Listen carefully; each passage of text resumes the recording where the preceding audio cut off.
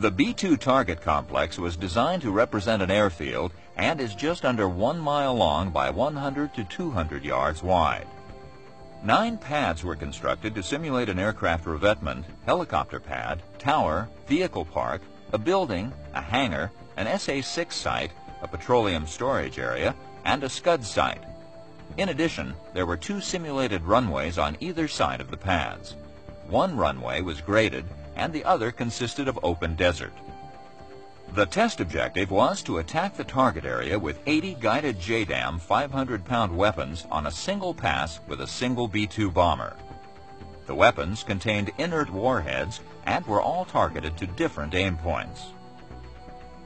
The aircraft successfully targeted and released all 80 weapons from approximately 40,000 feet. From onboard the aircraft, externally and internally mounted weapons bay cameras recorded the weapon separations. The weapons appear to come out sideways due to the orientation of the cameras as installed.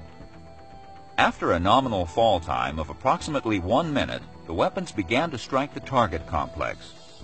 Range cameras affording various views of the weapons hitting the targets photographed each pad. Targets located on the pads can be seen being hit by weapons, with runway hits also in the foreground, background, and to the sides.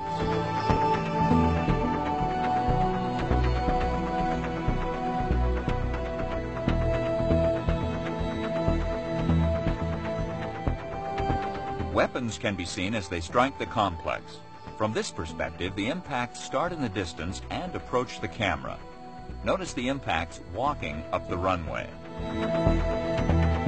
The simulated aircraft revetment consisted of three cargo vans arranged in a horseshoe shape with a barrel in the middle representing a parked aircraft. Weapons were targeted at each C van and the barrel, and all were direct hits. In the foreground is a weapon strike on the graded runway. The tower pad consisted of several C-vans arranged in a realistic fashion. Six weapons were targeted at different points of the complex. Five weapons were direct hits, with one weapon within just a few feet of the intended aim point, well within lethal range. The simulated hangar was composed of three C-vans parked side by side and parallel to one another. Three weapons were targeted down the center of the middle van.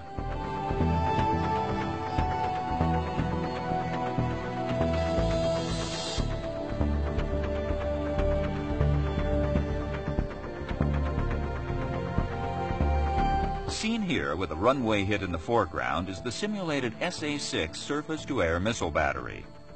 Nine vehicles were parked in this cluster, all targeted with one weapon each. Weapons hit well within lethal range with several direct hits.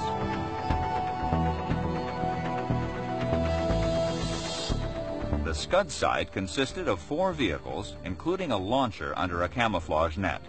All sustained direct hits.